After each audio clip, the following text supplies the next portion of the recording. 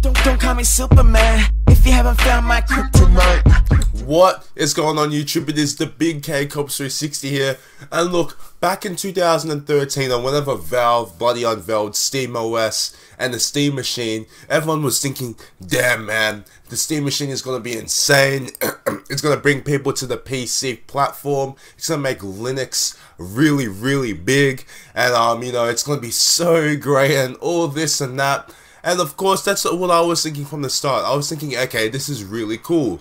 This is something that would actually bring mainstream gamers or console gamers to the PC because we've got a machine that runs PC games, of course. Now, uh, as time progressed and I started to realize, wait, it's not one machine. It's not like one Valve machine where, you know, there's set specs and um you know obviously it'll improve like every few years or whatever. When i started to realize that everyone can make their own steam machine uh alienware can make their own steam machine zotac fucking anyone can make their own steam machine. I was realizing shit no this is not as it seems. This is not going to be a very good thing. And of course i said two years ago that the steam machine was not going to work out. I said it was going to fail because look the whole point of a console is that it's simple, it's plug and play, it's easy. When someone bloody um Jim from bloody Sydney man, he goes in, goes into a JB Hi-Fi. It's like, look, I want to buy my son Tim. I want to buy him, you know, a console. I want to buy him a machine to game on. Uh, of course, when he rocks up and then the JB Hi-Fi spokesperson, he's like, okay, so we've got the Xbox One, we've got the PS4, then we've got these things called Steam machines, we've got the Zotac Steam machine, we've got the Alienware Steam machine, we've got the Asus Steam machine, we've got this, we've got that, and he's like, what the fuck? What? What's so good about them? And then the bloody spokesperson has to say, okay, this has better specs, this will perform better in this, this has a better CPU and whatnot. It just creates unnecessary tension and it makes things more complicated. It makes the entire buying process unnecessarily harder. However, if Valve just chose with one Steam machine with set specifications, right, and they upgraded it, I don't know, maybe every year or two, every three years, but they went with good specs from the start, yet they maintained the entire, you know, it's a PC, uh, you're playing PC games, then this would have worked out maybe a bit better.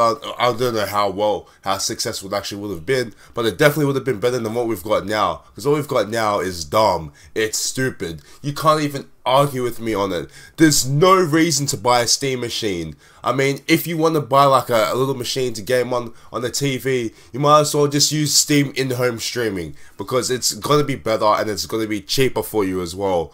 So yeah, I don't get the point of it. Valve really gave themselves the dick in terms of the Steam Machine thing. They really screwed themselves over. It was a big, big fail. Now, Steam OS, on the other hand, I don't think I think Steam OS has room to improve. Obviously, it is an OS. It is on Linux. Of course, it's going to improve. And drivers, of course, are still kind of an issue on Linux.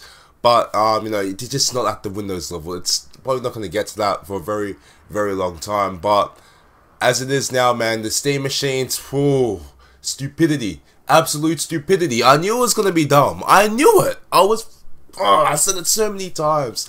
Yeah, people, oh, it's it's just sad to see it fell so badly like this, man. And the Steam controller, that's that bloody thing went through so many revisions, man. And at the end of it, you still can't really use it for like an FPS or whatever. Obviously, FPSs aren't the only games on bloody PC, but um, if you did, if you look at Linus Tech Tips, he did the review. Big Luke from LTT did the review on the Steam controller, and he said that look for games like Civilization 5, where you're kind of uh, chilled, you're casual, the Steam controller is good. But for a racing game, why would you use a fucking Steam controller for a racing game when you've got a 360 controller, Xbox One controller, like a Logitech controller, or a wheel? For first person shooters, or any shooters in that point, um, obviously, regular control would be better than the Steam controller.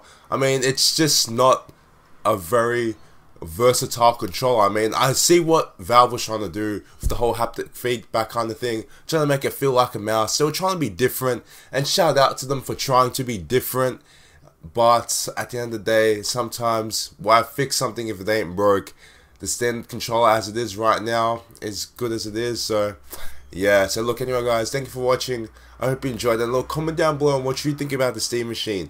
Was it really, really worth it? I mean, should Valve have taken a different route with this? Personally, I think so. Thank you for watching. And I'll see you guys later.